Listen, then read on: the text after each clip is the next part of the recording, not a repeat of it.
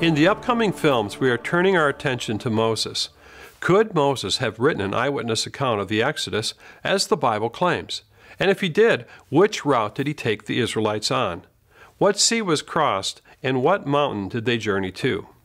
Today on the Thinker Update, we're going to talk about an interesting new book called The Lost Sea of the Exodus. It is written by geographer Dr. Glen Fritz.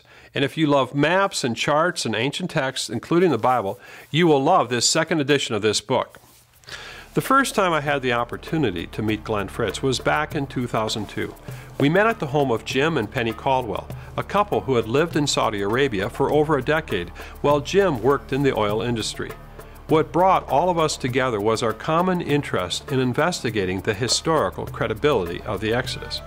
You might ask, how is the Bible story related to Saudi Arabia?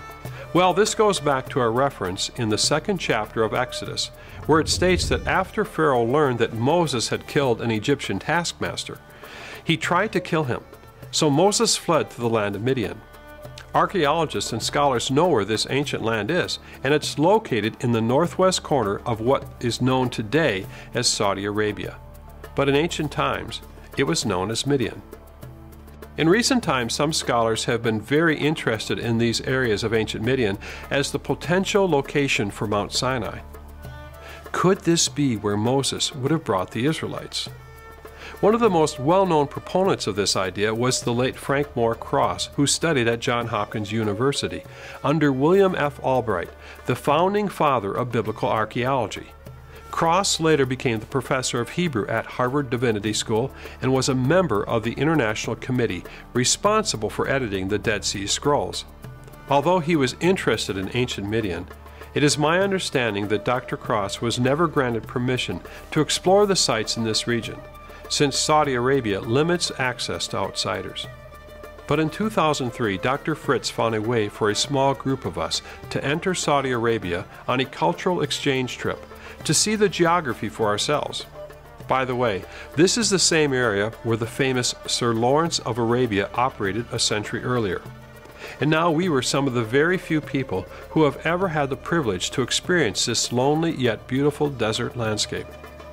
Jim and Penny Caldwell were also on this trip, and they believed there was a pattern of evidence that matched the biblical story that still existed in the ancient land of Midian. Yet others, including well known scholars, believe that evidence pointed in other directions for the location of the real Mount Sinai. I hope to investigate all of these options in upcoming films. But I'm getting ahead of myself. Before the Israelites reached the mountain, it is written that they were trapped at a sea by Pharaoh and his army. If the Bible story is true, then the question remains where did this happen?